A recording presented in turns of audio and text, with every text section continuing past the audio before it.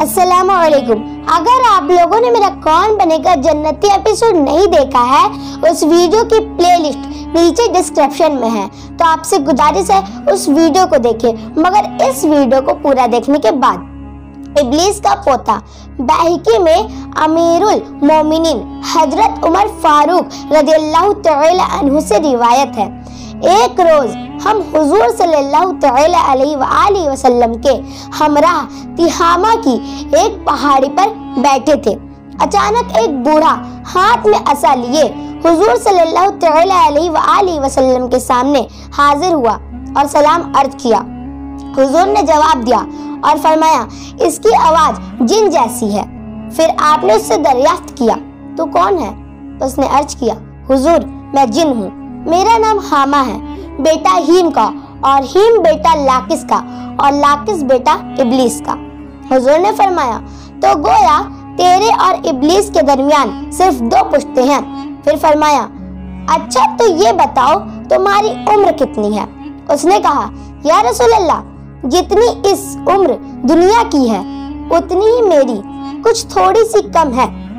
حضور جن دنوں کابیل نے حابیل کو قتل کیا تھا اس وقت میں کئی برس کا بچہ ہی تھا، مگر بات کو سمجھتا تھا، پہاڑوں میں دوڑتا پھرتا تھا، لوگوں کا کھانا اور گلہ چوری کر لیا کرتا تھا، لوگوں کے دلوں میں وسوسے بھی ڈال دیتا تھا۔ وہ اپنے خویش و اقربا سے بدسلوکی کرے۔ حضور نے فرمایا، تب تو تم بہت برے ہو۔ اس نے عرض کیا، حضور، مجھے ملامت نہ فرمائیے۔ اس لیے کیونکہ اب میں حضور کی خدمت میں توبہ کرنے کے لیے حاضر ہوا ہوں۔ یا رسول اللہ، میں نے حضرت نوح علیہ السلام سے ملاقات کی ہے۔ ایک سال تک ان کے ساتھ ان کی مسجد میں رہا ہوں۔ اس سے پہلے میں ان کی بارگاہ میں توبہ کر چکا ہوں۔ حضرت حود علیہ السلام، حضرت یعقوب علیہ السلام اور حضرت یوسف علیہ السلام کی صحبتوں میں بھی رہ چکا ہوں۔ ان سے توریت سیکھی ہے۔ ان کا سلام حضرت عیسیٰ علیہ السلام کو پہنچایا تھا۔ اے نبیوں کے سردار، حضرت عیسیٰ علیہ السلام نے فرمایا تھا، اگر تو محمد صلی اللہ تعالی علیہ وآلہ وسلم سے ملاقات کرے تو میرا سلام ان کو پہنچانا۔ حضور، اب میں اس امانت سے سبکدوش ہونے کو حاضر ہوا ہوں اور یہ بھی آرجو ہے۔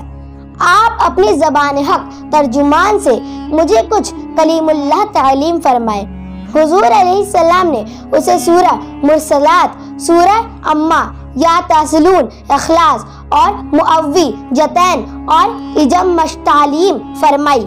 یہ بھی فرمایا، اے حامہ، جس وقت تمہیں کوئی احتیاج ہو اور پھر میرے پاس آ جانا، ہم سے ملاقات نہ چھوڑنا۔ حضرت عمر رضی اللہ تعالی عنہ نے فرمایا، حضور صلی اللہ تعالی علیہ وآلہ وسلم نے تو وصال فرمایا لیکن حامہ کی بابت پھر کچھ نہ فرمایا۔ خدا جانے حامہ اب بھی زندہ ہے یا مر گیا۔ اس سے سبق ہمیں یہ ملتا ہے، ہمارے حضور صلی اللہ تعالی علیہ وآلہ وسلم آپ کی بارگاہ عالیہ جن اور انسان کی مرجع ہے۔ اگر آپ لوگوں کو ویڈیو پسند آئے تو اسے زیادہ شیئر کریں۔ ناظرین، ہمیں انسٹاگرام پر بھی فالو کریں۔ ہم اچھے اچھے پوسٹ ڈالتے رہتے ہیں۔ لنک نیچے ڈسکرپشن میں ہے۔